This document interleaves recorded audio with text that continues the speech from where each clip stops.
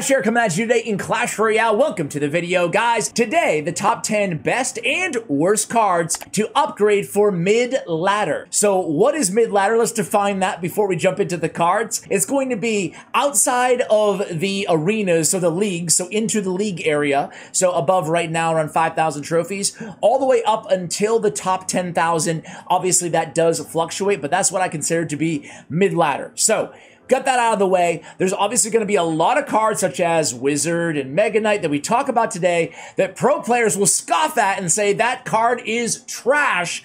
However, it can be extremely advantageous when playing it if your opponent might not be the best player in the history of the world as well, and they might have the propensity to cluster their troops together uh, or have bad timing on their defensive troop placement. So, with all that out of the way, let's start with the best. Let's start with the best cards to upgrade for ladder. And I want to start, by the way, guys, I went no legendaries on this list. Uh, mostly every legendary is worth upgrading, I would say, in this game. So if you have one, you kind of know intuitively when and where to invest in legendary cards. So let's start out with one of my favorite cards in the game. It is the Zappies, guys. So Zappies are so freaking good at stopping tanks, can be spell bait as well, and I love upgrading Zappies because they're just great. They have the stun lock mechanic, they deal a decent amount of damage as well. Uh, really, really robust defensive card, which I feel like any player can benefit from. Another card right next door to it, guys, is going to be the Flying Machine. The Flying Machine is one of the most annoying and difficult cards to actually deal with. I've seen so many players out there. Don't pretend that you haven't done it. You haven't whiffed a fireball against a flying machine. You got to aim for the shadow, man. Uh, but either way, I think the flying machine is sneakily one of the better cards out there inside the entire game. Next is going to be the Dark Prince. The Dark Prince is tremendous. I love Dark Prince, especially in mid ladder. This dude can stop, can, can give you an answer to all the swarm out there. Plus, he can take a hit or two thanks to the shield that he has as well. So I think the Dark Prince is always a good investment. Even when he's not super, super meta, you can still play Dark Prince and get tremendous value from the card. Next up is going to be, of course, the Valkyrie. Valkyrie right now on, on ladder is in 25% of decks. That's insane. A 50% uh, uh, win rate, but when she's being used in one quarter of every match in the game, that's saying something. I think Valkyrie is a tremendous card. She is the tank that I use in my deck that I run Graveyard. Uh, I love Valkyrie. She's so versatile. She does so much damage, and she's tanky. She has so much HP as well. Don't nerf Valkyrie, please, Supercell. I, uh, I love my Valkyrie, but maybe some of you guys disagree with me. Next card is going to be the... Where are are you? Where are you? Where are you? Cannon Cart. There you are. Cannon Cart is another one of those really, really underrated cards. Maybe less so more recently. I feel like people are on to how good the Cannon Cart is. Has kind of that spell resiliency in the fact that it has a second life as a, a cannon after you uh, lightning or whatever the, uh, the the cart itself. Does a lot of damage. I think that sneaky nerf slash AKA really a buff when they made it move slower actually helped the card out a lot. A great card to upgrade can really decimate your opponent with a cannon in cart. Let's talk about him, guys. I mentioned him at the top of the video. It is the Mega Knight. Dude, I don't care what anybody says. I don't care what any pro says, man. Mega Knight on mid ladder, he's an amazing card. He's an amazing card. You hate going against him, but you love when you play him. So much value, so much opportunity for value when you're rocking the Mega Knight. The enter the arena ability is really just it's OP, man. I mean, it's not OP. It's not doesn't need another nerf. Don't get me wrong, but it's so freaking effective to just shut down any swarm push coming your way. So Mega Knight definitely is a card. Hey, you know what? I just said no legendaries and I included a legendary. I'm ruining my old video, uh, my own video. You know what I'm gonna do, guys? I'm gonna pick a substitute, but I will, since we're right here, I'll cover the Mini P.E.K.K.A. too. Mini P.E.K.K.A., fantastic card to upgrade. And this one you actually can. He's not a legendary, ladies and gentlemen. We're learning this breaking news here on the channel. He's not a legendary card, but sometimes the little fella eating his pancakes this is his season to shine right now too. He feels like a freaking legendary card, guys. Uh, Mini P.E.K.K.A. is a tank stopper can be a threat at the bridge. Four elixir, the perfect cost. I really, really love Mini Pack. I think you can benefit almost everybody out there. Okay, next up is going to be, I still stand by the Mega Knight, but he is the only legendary on the list, so whatever. Dart Goblin, man. Another machine gun Dart Goblin. This guy is so annoying to deal with. I like him much better than the Firecracker. Right now, personally, I like him better than the Princess inside this meta. He shoots so fast. He's a threat at the bridge as well. You have to think really quick to intercept that Dart Goblin when he's placed at the bridge.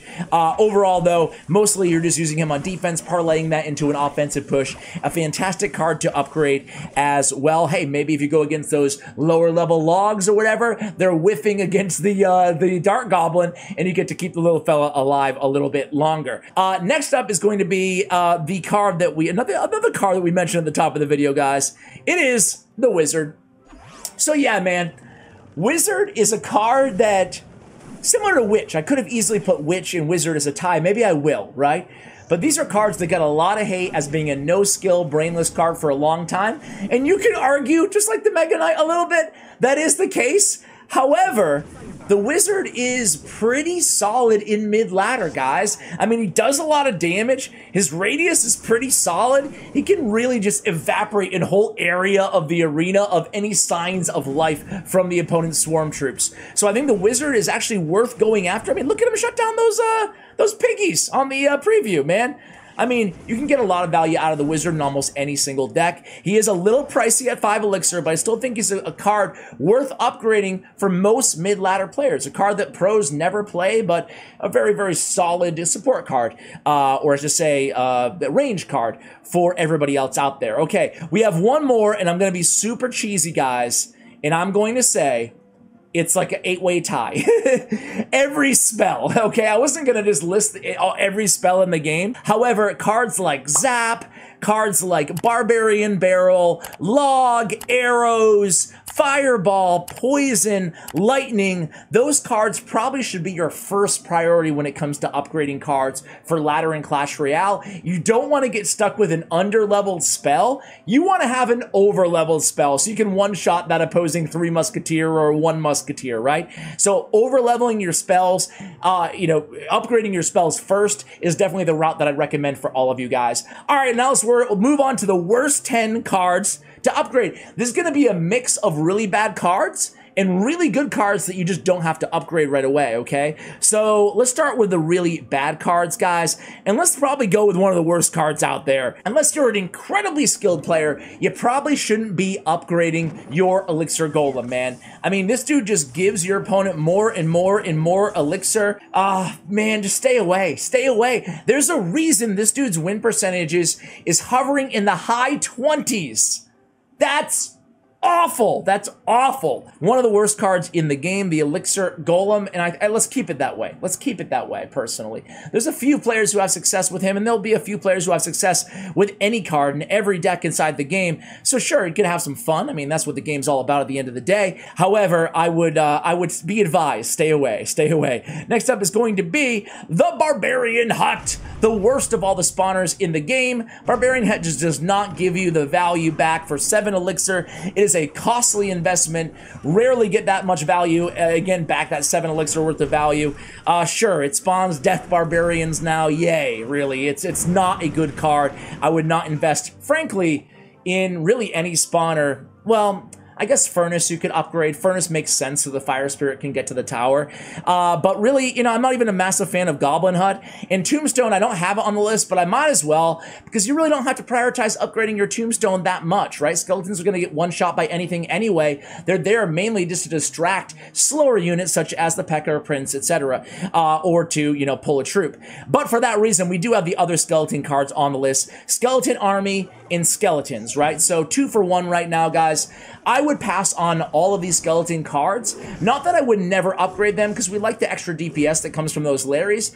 However, I really strongly believe that you should prioritize other cards because, again, like we just talked about with the Tombstone, Skarmy and Skeletons, you can wait on upgrading them, right? Put your gold into other cards that you need more, like spells, like we just uh, spoke about. So, for that reason, Skeletons, even though one of the most powerful cards in my estimation in the game, I still think you can just kind of hold off on those cards. Speaking of really, really good cards, my personal favorite card in the entire game, I think is the strongest card. It's certainly the most dynamic inside the entire game game, but you don't have to upgrade it. It's a beautiful thing about Tornado, guys. Tornado, all you're getting when you upgrade it is a little bit extra damage. Who cares, man? I mean, obviously it's nice to have, but really the radius is going to be the same, the duration is going to be the same, and the pull power, so to speak, of the tornado is going to be the same regardless. So definitely hold off on tornado as well.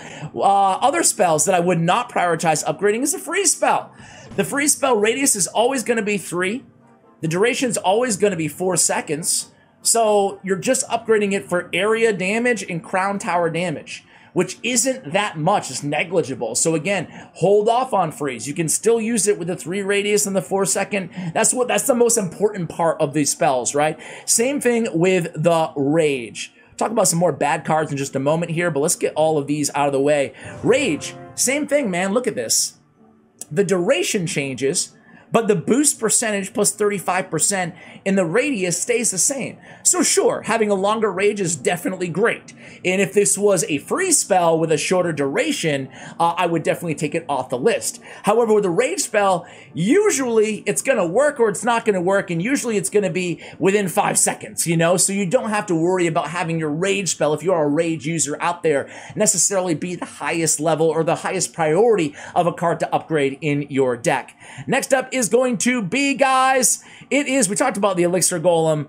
I am just not a fan right now of the Battle Healer. Uh, Battle Healer, we talked about how tanky, you know, the Valkyrie is, for example. Uh, even the Knight, I'd rather use those cards over the Battle Healer. The Battle Healer only really utilized in one meta deck right now. It's barely even meta, and it's the Elixir Golem deck that we spoke about earlier. She's not the worst card in the game you can have some, you know, I mean, she heals. She's unique, right? You can have some sort of, uh, I don't know, semblance of success with a battle healer. However, she's just not my favorite. There's so many better, tankier options, and that heal is really hit or miss. Everybody knows how to deal with the battle healer. I personally think she needs to be reworked. Let me know if you agree or disagree with that. Next up, guys, is going to be, I hate to say it, I got nothing against the little green dudes. But that's right, it's the goblins, man. Goblins if you're running goblins, I would ask you, what did guards ever do to you? you know, guards for one more elixir are so much better. They still got great DPS. They have the shield on them, so they're more resilient to spells, uh, except for arrows. Or you could even run goblin. I'd rather run goblin gang than goblins right now, or spear goblins. Uh, sorry, I'm allergic to, to goblin talk, apparently. I just, I just don't think that. What did they do? They changed the spacing of the goblins a little bit or something like that. Uh, I think they need another buff, but it's hard to buff a card that is also in other cards, such as, again, the Goblin Gang. So I don't know what to do about goblins. I just think that you're better off using guards, you know, in the game overall. So I don't really know any deck right now that is running goblins as its choice for one of those, you know, cheaper kind of DPS swarmy units out there. Speaking of swarmy units, guys, I am not a fan even though it did have a little bit of time in the sun last meta, it dipped way down again to where it belongs, but it's a minion horde, man. Minion horde, sure, it can get you value, similar to like barbarians, right? It can get you value if you put it directly on the troop and they don't have a good response, but almost every deck, almost every player is carrying multiple spells, and splash units are everywhere in the game right now, especially on mid-ladder. If you're running minion horde on mid-ladder, you're going to be running into wizard and witch and wizard in Witch, and more Wizard, and, and did I mention more Wizard and more Witch? It's not going to work out for you. I would not prioritize upgrading Minion Horde. There's so many better common cards to actually go out there and upgrade right now that this would really be on the bottom of my list. So that's it, guys. Barba, Elixir Golem, Battle Healer, Minion Horde, Goblins, Tornado, Skeleton, Skarmy, Rage, and Freeze on the do not upgrade list. Do you agree or do you disagree with my top 10 cards in both category? I know I kind of cheated by including a bunch of spells in the to upgrade category, but I think these kind of conversations are valuable to have because it shows us the difference between maybe pros at the top, top, top ladder and everybody else in terms of even what we're facing in the arena in terms of decks and other troop choices that players tend to go with more popular uh, troop choices. Maybe even Elite Barbarians could be added to the list. Anyway, guys, let me know in the comments below. Open to your feedback. As always, let me know if you enjoyed the video. Thank you so much for watching. Big shout out to Stats Royale and to Bren Chong, my YouTube partners. Check out their information as well. Thank you for watching, and as always, take care, guys.